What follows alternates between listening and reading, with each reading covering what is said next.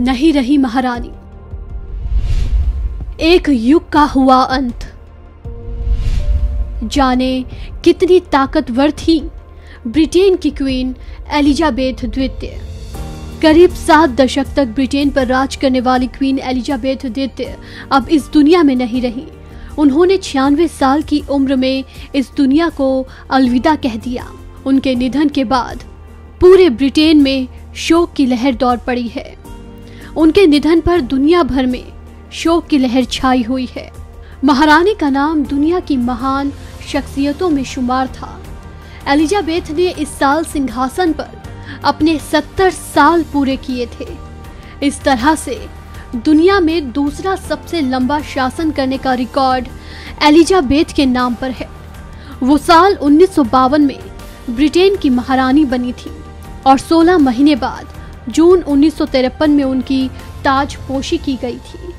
Britain की महारानी का जन्म 21 अप्रैल 1956 को ब्रिटेन के राज परिवार में हुआ था। ज़्यादातर लोग ब्रिटेन की महारानी को क्वीन एलिजाबेथ के नाम से जानते हैं, जबकि उनका पूरा नाम एलिजाबेथ एलेक्जेंड्रिया मैरी है। क्या आप जानते हैं, वो सिर्फ़ ब्रिटेन की ही नहीं, चौदह अन्य आज़ाद देशों की भी क्वीन थी। वो देश जो ब्रिटेन का हिस्सा थे। ब्रिटेन की महारानी यूनाइटेड किंगडम के अलावा कनाडा, ऑस्ट्रेलिया न्यूजीलैंड की भी रानी थी। साथ ही साथ वो बारह देश जो उनकी रानी बनने के बाद आज़ाद हुए वो उनकी भी रानी थी। इतना ही नहीं वो कॉमनवेल्थ देशों की हेड भी थी जिसमें भारत भी शामिल है। तो आप समझ सकते हैं कि वो केवल ब्रिटेन की ही नहीं बल्कि दुनिया के बहुत से देशों की रानी रही। एलिजाबेथ ने 1956 से 70 के दौरान 20 से ज़्यादा देशों को ब्रिटिश उपनिवेश से स्वतंत्र करा दिया था।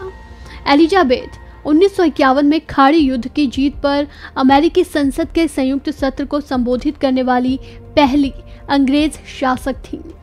एलिजाबेथ को हेड ऑफ़ स्टेट यानी राज्य प्रमुख की उपाधि दी गई थी, जिसके कारण महारानी को दिन भर की सरकारी गतिविधियों और राजनीतिक हालातों की जानकारी दी जाती थी। इतना ही नहीं, महत्वपूर्ण बैठकों में जो भी चर्चा होती थी, उसके आधिकारिक दस्तावेजों में महारानी के हस्ताक्षर ज़रूरी होते थे। इसके अलावा, पीएम के साथ सीक्रेट मीटिंग भी करती थी। ब्रिटेन के प्रधानमंत्री और महारानी की मुलाकात का समय फिक्स होता था। ब्रिटेन के प्रधानमंत्री को आमतौर पर हर बुधवार को महारानी से मिलने की इजाज़त होती थी। उन्हें महारानी से मिलकर सरकारी कामकाज और हालातों का ब्यौरा देना होता था। ब्रिटेन की संसद में जब भी कोई कानून बनता है तो उस पर शाही मोहर लगानी ज़रूरी होती है। कानून बनने के बाद महारानी की अनुमति के लिए बकिंगम पैलेस में ही अंतिम स्वीकृति मिलती है। तभी उसे लागू किया जा सकता है। जब भी ब्रिटिश संसद में साल के नए सत्र की शुरुआत होती है तो उद्घाटन महारानी ही करती आई हैं। आपको जानकर हैरानी होगी कि महारानी संविधान से ऊपर हैं और उनको किसी भी तरह के कानून का पालन करने की कोई ज़रूरत नहीं पड़ती थी। महारानी को दुनिया में किसी भी देश में जाने के लिए पासपोर्ट की ज़रूरत नहीं पड़ती थी। ब्रिटेन के सारे पासपोर्ट महारानी के नाम पर ही इशू किए जाते हैं। असलियत में महारानी को किसी भी तरह की किसी आईडी की कोई ज़रूरत ही नहीं पड़ती थी। महारानी की ताकत का बस एक छोटा सा नमूना ये है कि महारानी के पास किसी भी युद्ध को शुरू करने और खत्म कर सकने की पावर थी। जी हाँ इंग्लैंड की महारानी वहाँ की संसद से बिना पूछे युद्ध का ऐलान कर सकती थी। वहीं ब्रिटेन की संसद अगर कुछ करना चाहे तो पहले उसे महारानी से इसके लिए इजाज़त लेनी होती थी।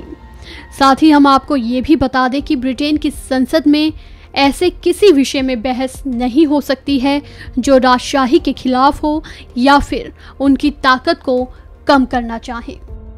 इस खबर में फ़िलहाल इतना ही। तमाम अपडेट्स के लिए बने रहिए वन इंडिया के साथ।